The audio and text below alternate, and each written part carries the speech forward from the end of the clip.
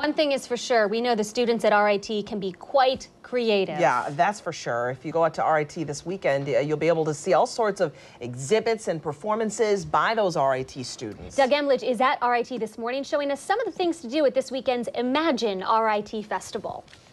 Imagine RIT is tomorrow at, imagine that, RIT. And uh, it started last year. They had something like 20,000 people come to campus. It's free, it's open to your family. And uh, tomorrow they're going to do the same thing again. They might get 25,000 this year. Really uh, a great way for RIT students and professors to show off what they got. And that thing there, I, what is it? This is, by the way, this is uh, Justin, and this is Clark. Clark's a professor of electrical engineering, and uh, Justin is a what year student? Fourth year student? Fourth year student. Uh, tell me what that is. Um, it is, uh, well, it's a recumbent uh, tricycle that has a hybrid drive system in it. So you don't have to pedal? No.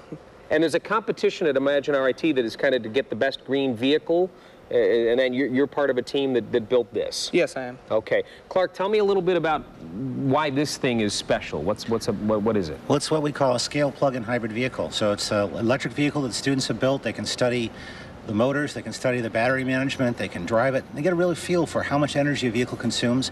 It's also capable of being plugged in. So this vehicle, when you drive it today, you're going to drive entirely on wind power.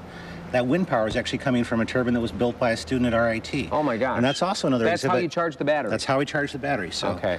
So it's a very interesting, very green vehicle and a lot of fun to drive. So May I? give it a try. Okay. Well, last year I got to try the Segway when I was at previewing Imagine RIT. So, and I've give, been given a quick lesson. There we go. Very comfortable. Very comfortable. I don't have to pedal, but I can. See, there's there's the pedal. But here's my throttle right here. Excuse me. Here, and then I've got brakes. So, ready to go? Yeah. Wow. that is so smooth. How fast will it go? Um, at the moment, it would go roughly around uh, 25, 30 miles an hour. And how far on a charge?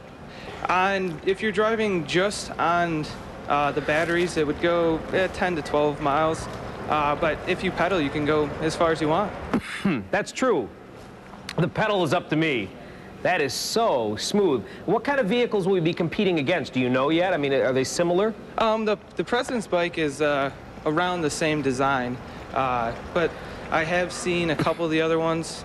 They're, uh, I don't know, there's a couple of tricycles just like this and some other bicycles, stuff like that. Well, let's just see if I can, Encore, the a cappella singing group, they're all sitting over there. Let me see if I can run them down. Here we go. Here I go. Just kidding, just kidding. Ah! Well, this is a lot of fun, and will people who come to Imagine RIT have a chance to ride these tomorrow? Uh, yeah, it's actually going to be on showcase uh, throughout the, the day during Imagine, and uh, if, if people want, they can come and test ride it. That is so cool. Is this your first green vehicle, Professor? No, I, the first green vehicle I built was in 93, which is also a plug-in hybrid. Oh, fantastic. So, it'd be great. Come on out and take it for a ride. There'll be other electric vehicles. The uh, NTID Bike Club, the Electric Bike Club, will have many vehicles for, for you to ride. So should be a great day. Thanks for bringing it down. Imagine RIT tomorrow. It starts, Paul Stella, at what time? 10 o'clock? 10 o'clock. 10 o'clock tomorrow here on campus. You got to come down.